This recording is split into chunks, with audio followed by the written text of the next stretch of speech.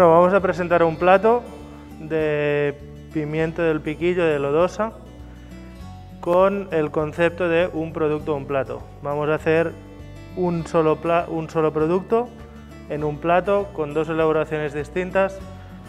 Entonces vamos a trabajar con un producto clásico español, el pimiento de piquillo de lodosa.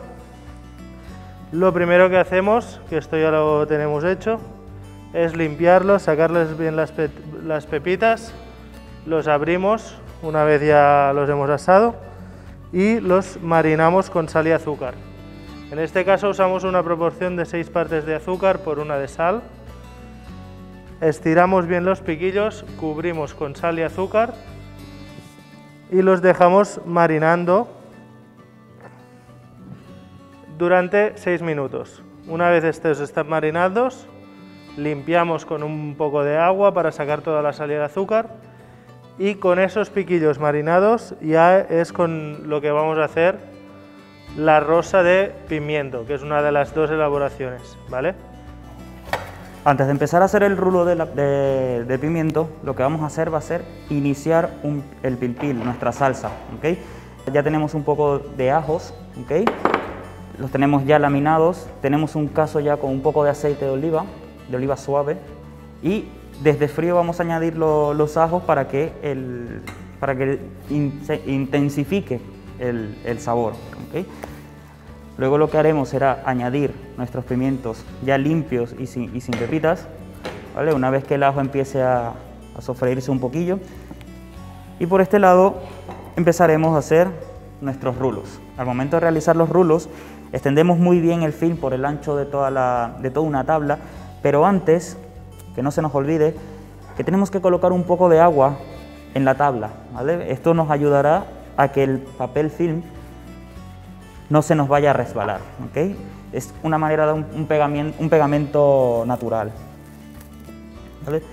Entonces, lo que haremos será lo siguiente. Iremos colocando los pimientos de punta hacia adentro. Como vemos, todas las puntas están hacia adentro. Y si nos queda un poco de, hueco, de agujero en todo el medio, no pasaría absolutamente nada, porque a la vez de que lo vayamos envolviendo, el rulo se va a ir penetrando.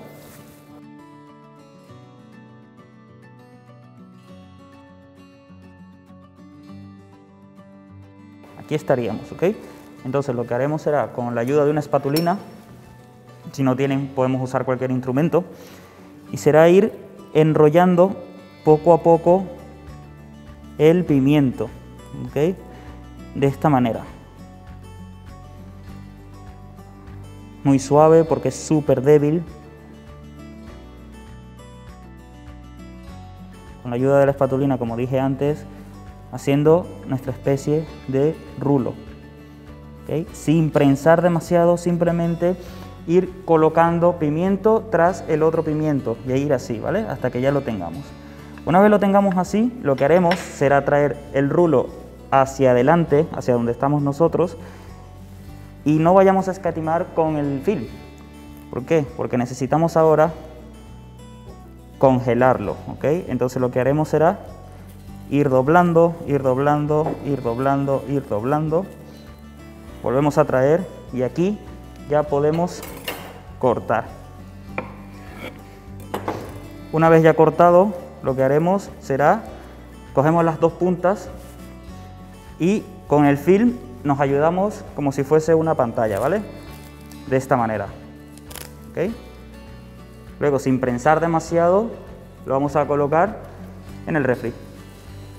Necesitamos que el pimiento suelte toda la pectina que es un vegetal muy rico en ella, para que nos ayude a emulsionar ese producto con el aceite, el ajo, ¿vale? Nosotros lo que haremos es colar, quedarnos solo con el líquido, añadiremos un poco de agua y será la misma pectina del pimiento que nos ayude a emulsionar el agua que añadiremos con el aceite que tenemos confitando.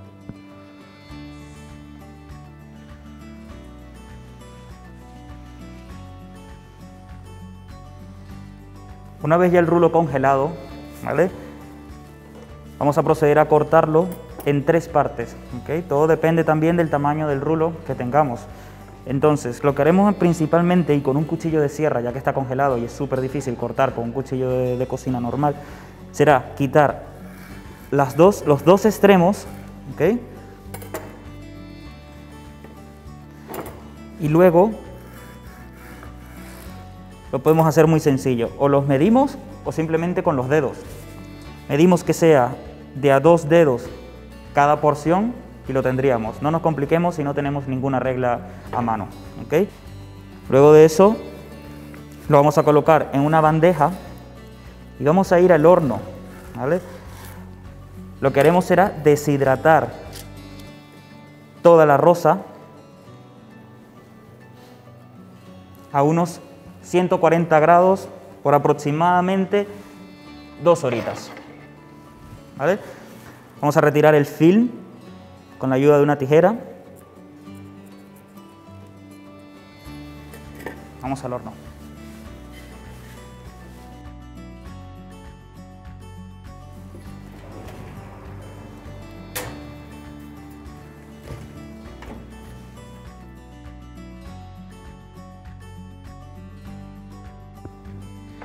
Vale, como hemos dicho, lo que queremos es hacer una emulsión, entonces habéis visto, tenemos el pimiento cociendo, tiene que estar cociendo bastante rato, que suelte toda la pectina.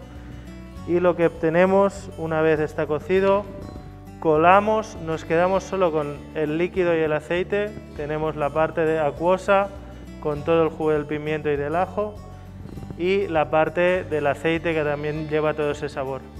Esas dos partes que las tendremos separadas las emulsionamos ayudándonos de la misma pectina que ha soltado el pimiento, obteniendo una salsa que es la que va a ser protagonista en el plato.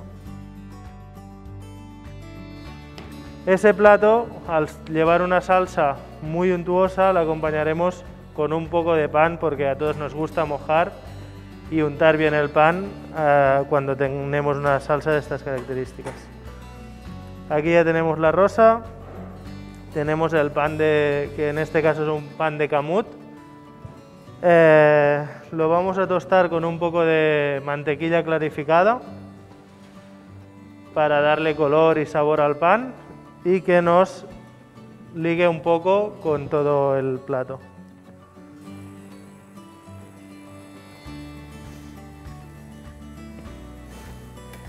Así quedarían nuestras rosas ya deshidratadas, ¿vale? Han pasado ya el tiempo necesario para que quedaran así, Entonces, lo que haremos ahora cuando ya tengamos casi el pan va a ser, con la ayuda de un soplete, ¿vale? Quemarle los bordes, Para así demostrar también que, es, que está ahumado, que está rico en sabor, que ha sido deshidratado y que ha cogido otro color. A la hora de sopletear, vamos a hacer con una llama súper sutil, ¿vale? No nos vayamos con una llama súper amplia, porque lo que vamos a hacer va a ser quemar, ¿Vale? Incluso un poco por arriba. Vamos a pasar a dorar el pan. Para dar un poco de aroma y dar un poco más de juego en, nuestro comedor. Un poco de sarmiento, que no deja ser el típico serrín, para, dar eh, olores o aromas a madera. Y un romero que nos va a enriquecer tanto el pan como el plato en cuanto a olores, a aroma. Entonces, vamos a colocar un punto, ¿vale? Un punto de salsa en todo el medio del plato.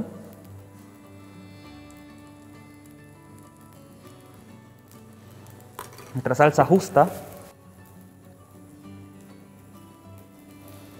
Y luego al momento de tener el pan, simplemente lo que haremos será cortarlo en dos partes iguales, ¿ok? Para tener un bocado para mojar y el otro para remojar tal cual, ¿vale? Colocamos aquí. Y con la ayuda del soplete vamos a dar un poco de aroma, ¿vale? Un poco de fiesta también.